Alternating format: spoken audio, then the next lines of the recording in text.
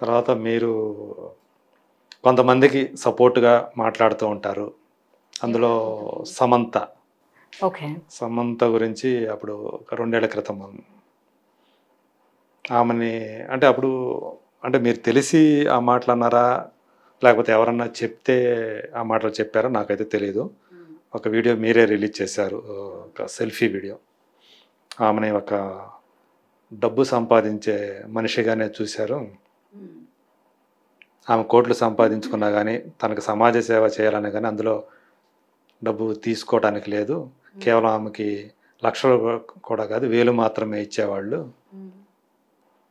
అని మీరు ఆమె అలాంటి జీవితం బతికే కంటే శుభ్రంగా బయటకు వచ్చి ఇప్పుడు తన జీవితం తను బా- జీవించడం బాగుంటుంది అని చెప్పేసి ఒక చేశారు. అది నిజంగా మీకు తెలుసా అని నాకు అంటే అది అది. కూడా నేను విన్నది క్లోజ్ సర్కిల్లో విన్నది. దట్ ఈస్ వన్ పాయింట్ ఇక విడాకులు తీసుకోవడానికి అదొక్కటే కారణాలు అని మనం చెప్పలేం కదా. భార్యాభర్తల సంబంధాలు అనేవి ఎన్నో విషయాల మీద ఆధారపడి ఉంటాయి. అది అందులో ఇంకోటి కూడా మీరు ఏమని చెప్పారంటే ఆమెకి తల్లి కావాలని ఉంది కానీ ఆమెని అది కూడా దాని నుంచి కూడా దూరం చేశారు అన్నట్లు మాట్లాడారు అందులో. జనాల కామెంట్స్కి దాన్ని అలా నువ్వు నీకు మదర్ అవ్వాలని లేదు నీకు తిరగాలని ఉంది. ఇది ఎలా అయిపోయిందంటే సొసైటీ జడ్జిమెంటల్. ఇప్పుడు హీరో హీరోయిన్ పెళ్ళి చేసుకున్నారు. వాళ్ళిద్దరూ విడాకులు తీసుకున్నారు. వాళ్ళు చావు వాళ్ళు చేస్తారు. కానీ మా హీరో తోపుగాడు. కానీ ఆ హీరోయిన్ బరితెగించింది అంటే ఆడది అంటే జడ్జిమెంటల్. ఇంక ఎవరన్నా కానీ. నువ్వు అలాంటి పాత్రలు చేసావు కాబట్టి నిన్ను వదిలేసిండు. నువ్వు అట్లా అట్లాంటి రోల్స్ అట్లాంటి డ్రెస్సులు వేసుకున్నావు అంటే డ్రెస్సే క్యారెక్టరా? What is the meaning of character ఇది ఎట్లా ఉంటుందంటే శీలం అంటే ఆడదానికి మాత్రమే ఉండేటటువంటి ఒక ప్రత్యేక పదార్థం అని చూసే సమాజం ఇది. పితృస్వామ్య సమాజం అన్నది. But what is the meaning of శీలం? గుణం కదా. శీలం అంటే ఏమిటి? గుణం. అది వస్తువు కాదు. అది ఆడపిల్లకి మగపిల్లోడికి ఇద్దరికి ఉండాలి. కానీ ఈ పితృస్వామిక సమాజంలో ఎంత మంచి హీరో మా హీరోకి ఈమె డిజర్వ్ కాదు. ఆమె సమంత కాకపోయినా ఎవరు డిజర్వ్ కాదు స్త్రీ స్థానంలో. ఆమె ఇంకొకరున్నా సేమే. ఆ స్థానంలో సమంత కాకపోయినా ఒక నార్మల్ ఎవరో వీళ్ళకి తెలియని ఒక బిజినెస్ మ్యాగ్నెట్ కూతురుని వచ్చి చేసుకొని ఆమె విడాకులు తీసుకున్నా ఆ, అది బిజినెస్ దానికి డబ్బులు ఎక్కువ అయ్యి కొవ్వు బట్టి మా హీరోని వదిలేసింది. లేదో పేద పిల్లని చేసుకొని డివోర్స్ అంటే నిన్న కాక మొన్న దానికి డబ్బులు వచ్చేసరికి కొవ్వు నెత్తికెక్కింది. అందుకే విడాకులు. అంటే వేళ్ళు ఎప్పుడైనా అటువైపే వెళ్తాయి ఒక సైడే ఖచ్చితంగా స్త్రీ వైపే వెళ్తాయి చూడండి మీరు. పురుషుడు చాలా గొప్పోడు. ఆడేం చేసి ఉంటాడు నేను I'm not talking about particular hero I'm talking about men ఎవరైనా సరే మా హీరో తోపు స్వామి పూజలు వ్యక్తి పూజలు. స్త్రీ అంటే పనికి మాలింది. వాళ్ళ అమ్మే మంచిది ఇంకెవత్తి మంచిది కాదు. ఒకవేళ వాళ్ళ అమ్మ కనుక వాళ్ళ నాన్న దగ్గర నుంచి కష్టాలు పడే మీకు తెలుసా మా నాన్న ఇన్ని కష్టాలు పెట్టాడు తాగొచ్చి కొట్టాడు తెలుసా నీకు? నువ్వు మాట్లాడతావు మా అమ్మ గురించి? అంటే నీ ఇంట్లోదే కష్టం. మీ అమ్మే మీ అమ్మ. ఇక బయటది ఎవరిది కాదు. అంతే. సో నువ్వు చూడట్లేదు కాబట్టి నువ్వు జడ్జ్ చేస్తావు. ఎన్ని మాటలు అన్నారు అమ్మాయిని సమంతాన్ని విడా విడాకులు తీసుకున్నదే తన పర్సనల్ విషయం. మళ్ళీ సోషల్ మీడియా ఎంత అంటే ఏ సోషల్ మీడియాని పట్టించు మళ్ళీ అంటారు సోషల్ మీడియాని పట్టించుకోవద్దు. సోషల్ మీడియాలో ఏమన్నా ప్రత్యేకమైన ఆత్మలు రోబోటిక్స్ తిరుగుతుంటాయా? మనుషులే కదా. పీపుల్ నాకు నిజంగా అర్థం కారు ఏంటంటే నువ్వు సోషల్ మీడియాలో వచ్చి ప్రచారం చేస్తాను జనాల్లోకి వచ్చి చెయ్యి. అరే ఏ ఏ కాలంలో ఉన్నారు? ఏ కాలంలో ఆ టెక్నాలజీ వాడుకుంటున్నారు? అప్పటి కాలంలో టెలిఫోన్స్ లేవు కాబట్టి ఏ టెలిగ్రామ్లో వాడుకునేవాళ్ళు. తర్వాత టెలిఫోన్స్ వచ్చాయి కాబట్టి టెలిఫోన్స్ ఇంపార్టెంట్ విషయాలకు వాడుకునేవాళ్ళు. తర్వాత సెల్ ఫోన్లు వచ్చాయి తర్వాత మెసేజ్లు వచ్చాయి తర్వాత వాట్సాప్లు వచ్చాయి వాట్సాప్ కాల్స్ వచ్చాయి వాట్సాప్ వీడియోలు వచ్చాయి. ఇప్పుడు పొద్దుగాల లేచిన దగ్గర నుంచి అందులోనే దూరి దూరి దూరి చచ్చిపోతున్నాము. ఇప్పుడు మన ప్రపంచం అదే అయిపోయింది. కదా! అంటే ఏది మనకు అవైలబిలిటీ ఉంటే దాన్ని మనం వాడుకుంటున్నాము.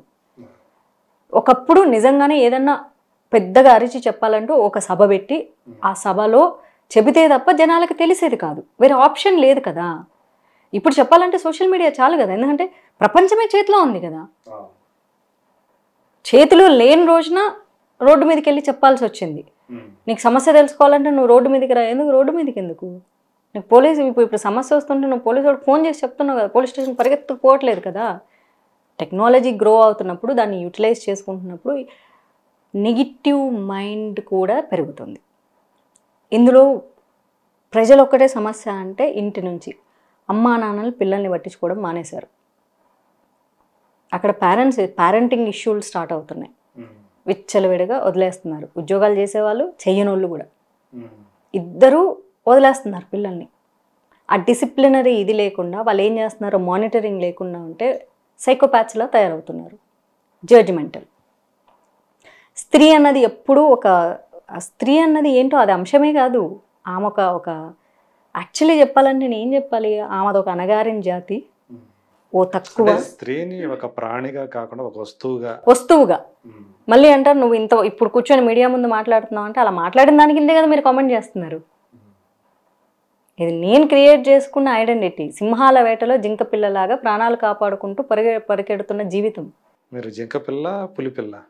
నేను హండ్రెడ్ పర్సెంట్ నేను పులిలా ఫీల్ అయ్యి పరిగెడుతుంటా. అంతే. అందులో భగవంత కేసరిలోనే ఆ డైలాగ్ ఉంది. పిల్లల్ని ఆడపిల్లల్ని జింక పిల్లలా కాదమ్మా పులి పిల్లలా పెంచాలి అని చెప్తాడనమాట మనం ఎండ్ ఆఫ్ ద డే మనం మనుషులమే కానీ క్వాలిటీస్ అడాప్ట్ చేసుకునేటప్పుడు నేను పులిని అనుకుంటే తప్ప నేను పరిగెత్తలేను. ఇప్పుడు నేను జింకని అనుకుంటే నేను దొరికిపోతాను ఆ. సింహాల వేటలో. అమ్మో నేను జింకని నేను పరిగెడుతుంది జింక చాలా ఫాస్ట్గా పరిగెడుతుంది. కానీ ఎప్పుడైతే దానికి భయం వేస్తుందో దొరికిపోతుంది. అంటే నాకు అనిపించింది ఏంటంటే సమంతని మీరు హండ్రెడ్ పర్సెంట్ సపోర్ట్ చేయటం న్యాయం. ఒక స్త్రీగా ఒక స్త్రీగా ఎందుకంటే ఇంత ఇంత హేట్రెడ్నెస్ ఒక అమ్మాయిని ఒక ఒక అంటే ఇప్పుడు సగం సగం విమర్శించారనుకో ఇట్స్ ఓకే. హీరోని హీరో చేసేసి ఈ అమ్మాయి ఒక పనికి మాలిందంటే ఏమీ తప్పు లేదు. అస్సలు తప్పంతా ఏమిదే? బంగారం లాంటి మనిషి. నువ్వు ఆ వెబ్ సిరీస్లో అట్లాంటి సీన్ చేసేవారు నేను చూసా ఆ వెబ్ సిరీస్. ఎంత బాగుంది అది? The family man. నువ్వు అట్లా టచ్ చేశాడు అట్లా చేశాడు అంటే మీ పని మీ ఇట్లాంటి పనికి మళ్ళీ కామెంట్ చేసి ఎదవలే కదా అట్లా టచ్ చేసేది. చూపించారు కదా సినిమాలో ఐ మీన్ సిరీస్లో ఏముంది అక్కడ అది? ఆ చూడ అది అసహ్యమైన సీన్ కూడా కాదు. చాలా అది యాక్చువల్లీ చెప్పాలంటే రక్తం మరిగేటటువంటి సీన్ అది. అసలు ఆ పాత్రలో అసలు ఎట్- ఎటువంటి తప్పు లేదు. అట్లాంటి పాత్ర చేయాలంటే అసలు యాక్చువల్లీ గట్స్ ఉండాలి. ఇవన్నీ హస్బెండ్ ఒప్పుకోడంటే ఆయన ఆయనకు తెలియదు ఆయన యాక్టర్ కదా. అంటే బయటకు వచ్చింది అది. ఒకవేళ దాని వల్ల అవుతుంది దానివల్ల నేను కూడా చెప్తున్నాను కదండి. అసలు సినిమా సినిమాల వల్ల సినిమా పాత్రల వల్ల సినిమా అలా హీరో తెలీదా? హీరోయిన్స్ ఎప్పుడు విడిపోరు. పర్సనల్ లైఫ్ ఇష్యూస్ అంటే నేను. మిమ్మల్ని అక్కడ పాయింట్ అవుట్ చేస్తుంది ఒక్క విషయం దగ్గరే. మీరు అంటే ఆమెకి డబ్బులు ఇచ్చేవాళ్ళు కాదు అని తెలిసినట్టు కదా ఆ టాపిక్. అయిపోయింది కదండి. ఎందుకు మళ్ళీ దాన్నే పట్టుకొని పీకుతారు ఇప్పుడు? వెళ్ళు- వాళ్ళిద్దరు విడిపోయి ప్రశాంతంగా ఎవరి జీవితం వాళ్ళు గడుపుతున్నారు. ఇప్పుడు మనకు అవసరమా ఈ టాపిక్? అంటే మీరు సపోర్ట్ చేయటం అనేది నేను హండ్రెడ్ పర్సెంట్ ఏకీభవిస్తాను. చెయ్యాలి. కానీ కొన్ని విషయాలు మనం తెలుసుకొని మాట్లాడాలి కదా. అక్కడ తెలుసుకొని మాట్లాడారా లేదా? నాకు తెలిసింది మాట్లాడాను. అంటే అక్కడ మీరు జడ్జి చేశారేమో అని జడ్జి కాదు. నాకు తెలిసింది నేను విన్నది క్లోజ్గా ఉన్న వాళ్ళు చెప్పింది చెప్పాను. గాలి వార్తలు వినను. ఇప్పుడు మీతో మీ పక్కన ఉండి మీతో మీతో ట్రావెల్ చేస్తున్నారు అనుకోండి రోజు ఆయన నాకు చెప్తేనే మీ గురించి నేను నమ్ముతా. ఎందుకంటే మీతో రోజు పది గంటలు ఉన్న వ్యక్తి చెప్తేనే నమ్ముతా నేను. లేకపోతే నేను నమ్మను. అది ఆ క్లారిటీ కోసమేనండి నేను అడిగింది. అంటే మీ మీ ద్వారా అది బయటకు అదే వచ్చిందంటే ఆ వీడియో వెళ్ళిపోయిన తర్వాత నేను మళ్ళీ ఫోన్ చేసి అడిగితే బెటర్ ప్లీజ్ వద్దు మాట్లాడొద్దు అన్నారు. అక్కడి నుంచి మీకు అది మీరు రిలీజ్ చేసిన తర్వాత అటువైపు నుంచి కానీ మీకు ఏమైనా కాల్స్ రావటం? ఎవ్వరు ఎవరికి కాల్స్ చెయ్యరండి మీరు. మీరు డ్రగ్స్ దొ డ్రగ్స్ దొరికాయంటేనే ఎవడు కాల్స్ చెయ్యడు. ఇది ఇదొక దీన్ని ఎవడన్నా పట్టించుకుంటాడా? మీరు ఒకళ్ళు. కాకపోతే సోషల్ మీడియాలో మాత్రం రాసేవాళ్ళు రాసేస్తూ ఉంటారు అది. అంతే నేను చెప్పాలనుకుంది నేను చెప్పా. తర్వాత కూడా ఆ అనుకోకుండా కోపంలో చెప్పేశానంటే చెప్పకుండా ఉండాల్సింది కదా ఇంకా చెప్పొద్దులే అన్నారు. ఆ తర్వాత మాట్లాడలేదు నేను. ఫ్లోలో ఒక్కోసారి కొన్ని నిజాలు అట్లా బయటికి వెళ్ళిపోయిన తర్వాత ఇక దాన్ని మళ్ళీ ఏం చేయలేం. అప్పటికి ఆపేసుకోవడం తప్ప. సరే. కొంతమంది సినిమా ఇండస్ట్రీలో ఉన్నవాళ్ళు అమ్మాయిలు వాళ్ళు తాము ఎదుర్కొన్నటువంటి ఎవరైనా కాదు males abuse abusement sexual abuse గురించి మాట్లాడుతున్నారు వాళ్ళు. ఉదాహరణకి మనకు బాగా ఇప్పుడు సోషల్ మీడియా కూడా బాగా యాక్టివ్గా ఉండే చిన్మయ్య ఒకరు. తెలుసు Chinmayi? So singer dubbing artist. Incidentally ఆమె సమంతకి డబ్బింగ్ చెప్తా వచ్చింది మనం మనటిదాకా దాకా కూడా. వైరముత్తు గారి గురించి ఆమె ఇప్పటికీ స్టిల్ ఎప్పుడో ఎప్పుడో నుంచో ఎదుర్కొన్నటువంటి ఆ విషయాన్ని అలుపెరగకుండా ఇప్పటికీ ప్రస్తావిస్తూ పోరాడుతూనే ఉంది అమ్మాయికి. కానీ ఆ అమ్మాయికి బయట నుంచి వస్తున్న సపోర్ట్ కంటే విత్ ఇన్ ద ఇండస్ట్రీ నుంచి వస్తున్న సపోర్ట్ చాలా తక్కువగా ఉంటుందని అనిపిస్తుంది. ఈవెన్ మాధవిలతో కూడా ఎప్పుడు దాన్ని దాని గురించి మాట్లాడినట్లు నేను వినలేదు. ఏది? చిన్మయ్యకి సపోర్ట్ చేస్తున్నా? లేదు లేదు. అంటే అంటే తనది తమిళనాడులో జరిగిన ఇష్యూ గురించి మాట్లాడుకుంటూ వచ్చింది కదా. సో అది నాకు తెలియదు. బట్ నేను వెన్ ఐ మెట్ చిన్మయ్యి నేను చెప్పాను మీ వీడియోస్ చూస్తూ ఉంటాను బాగా మాట్లాడుతున్నాము అని. Yeah that's my experience I'm sharing నేను ఏది దాచిపెట్టుకుని నేను మాట్లాడేస్తాను అలాగా? తను స్టిల్ ఇప్పుడు కూడా ట్విట్టర్ల ద్వారా అప్పుడప్పుడు డిఫరెంట్ డిఫరెంట్ టాపిక్స్ మీద నేను తన వీడియోలు చూస్తూ ఉంటా. ఆ, పాపం అంటే తన వాయిస్ చాలా స్వీట్గా ఉండడం వల్ల నా అంత హార్ష్గా రాదు కానీ సిమిలర్లీ అంతే హార్ష్గా మాట్లాడుతుంది తను కూడా. బట్ ఆ వాయిస్ క్యూట్గా ఉండడం వల్ల నాది బేస్ వాయిస్ అవ్వడం వల్ల చాలా ఓవర్గా వెళ్తుంది. తనది తన వాయిస్ స్వీట్గా ఉండడం వల్ల మేబీ తను స్ట్రాంగ్గా మాట్లాడినా కొంచెం స్వీట్గా అనిపిస్తుంది అంతే. తన యొక్క ఇష్యూ తెలుసా మీకు? అంటే తె- తెలీదా మీకు నో మాత్రం? I know I know. Um. I know. నేను ఎందుకంటే నేను తనకే చెప్పినాను కదా. అదే అదే.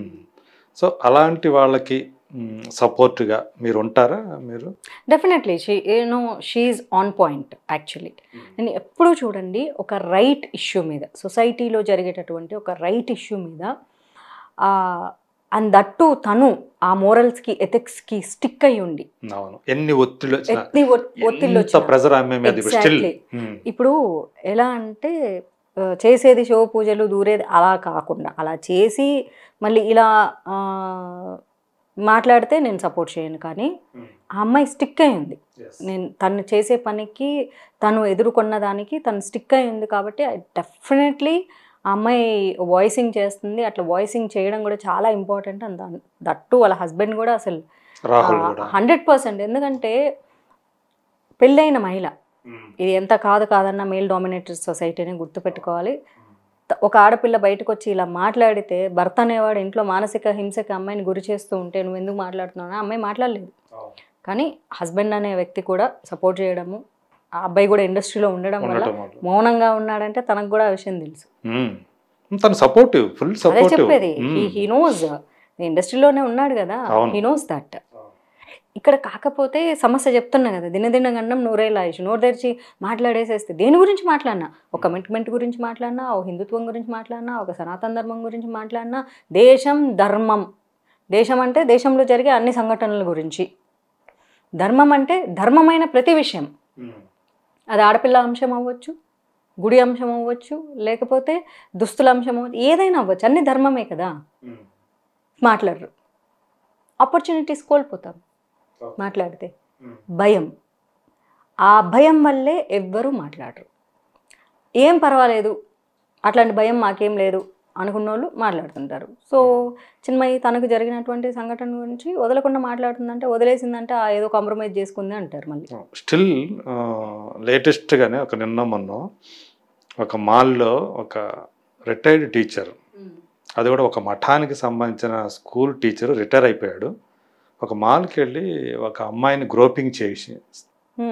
అత దాన్ని ఒక అతను వీడియో తీసి ఒక క్లిప్ బయట పెట్టాడు అనమాట ఇలా సో దాన్ని కూడా అమ్మాయి షేర్ చేసుకొని ఇలాంటి ఒక టీచర్ అయ్యుండు కూడా బాధ్యతాయుతమైన ఒక టీచర్ అయ్యుండు కూడా ఇలాంటి చోట పబ్లిక్ ప్లేస్లోకి వెళ్ళి గ్రోపింగ్ చేయటం అనేది ఒక ఆడపిల్లని ఇట్లా జరుగుతున్నాయి ఇది అని ఆమె ఆ విషయాన్ని కూడా పబ్ చేసింది. అలా చెప్పాలి అంటే ప్రతిరోజు సంఘటనలు ఉంటాయండి.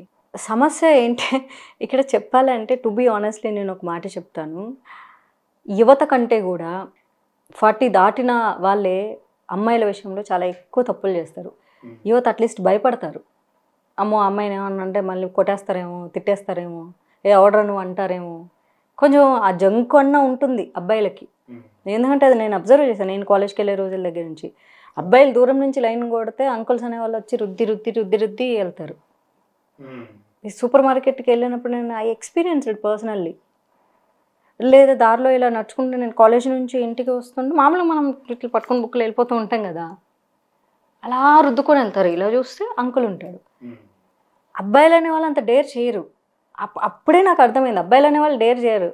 అలా అంత దూరం నుంచి అన్న వాళ్ళు చూసుకుంటూ వెళ్తారు. ఏదో కావాలంటే బైక్ వేసుకొని వెళ్ళి రెండు మూడు సార్లు రౌండ్లు కొట్టి అలా అన్నా వెళ్తారు వాళ్ళు. But these fellows middle age crisis అంటారంట దీన్ని. అంటే మనల్ని ఎవరు అనర్లే. మన వయసుని బట్టి ఎవరు అనరు ఫస్ట్ ఆఫ్ ఆల్ సైకలాజికల్గా వాళ్ళకి మిడిల్ ఏజ్ క్రైసిస్లో ఉంటారు. ఆ క్రైసిస్ని వాళ్ళు ఎలా దాన్ని తీర్చుకోవాలో తెలియక ఇలాంటి ఒక పనులు చేస్తూ ఉంటారు. బస్సులో అవ్వచ్చు రోడ్లో అవ్వచ్చు సూపర్ మార్కెట్లో నేను హైదరాబాద్లో కూడా సూపర్ మార్కెట్కి వెళ్తే అలా రుద్దుకొని వెళ్తారు. అక్కడ చూస్తే అంత స్పేస్ ఉంటుంది. మీరు కూడా కొంచెం కన్ఫ్యూజ్ అవుతారు కూడా. ఏం జరిగింది? వాళ్ళు మళ్ళీ ఏమీ తెలియనట్లు చాలా అమాయకంగా ర్యాకులు చూసుకుంటూ వెళ్తుంటారు.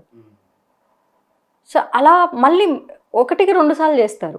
రెండోసారి చేసిన నేను ప్రతిసారి పిలిచి చెప్పు ఎక్స్క్యూజ్ మీ అక్కడ చాలా స్థలం ఉంది. అటు వెళ్ళు. ఓకే? నువ్వు రుద్దకు. ఇంకోసారి ఏది జరిగిందనుకో వేరేగా ఉంటుంది. ఇంకా అంతే ఇంకా వాళ్ళు సైలెంట్ అయిపోయి వేరే రా వేరే చూసుకొని వేరే వాళ్ళ దగ్గరికి వెళ్ళిపోతారు.